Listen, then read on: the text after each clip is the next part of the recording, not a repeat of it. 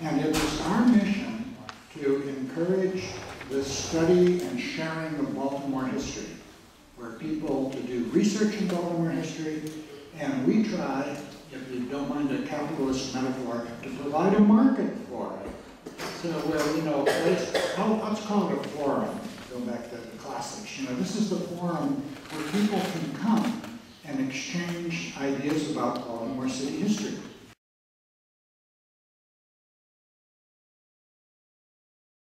Focusing on labor, community, women's, and African American history, the book was groundbreaking both in its critical approach to the social history of Baltimore and in its effort to present that history in an accessible way. It remains in print, it's used in classrooms, and it's regularly cited.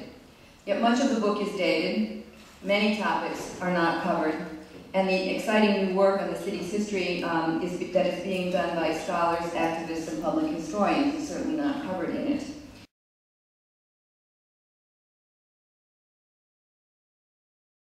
Doing history is an ongoing process, a retrieval and recuperation, a constant wrestling match to find and devise new ways to present it.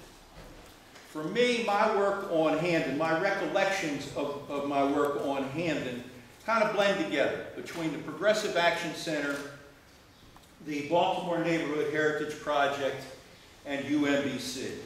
So to sum up for tonight's discussion, I propose that two of the main points, and I, I don't see how we can do it without hitting these points, are the relationship between the progressive social movements and doing the kind of history that we need.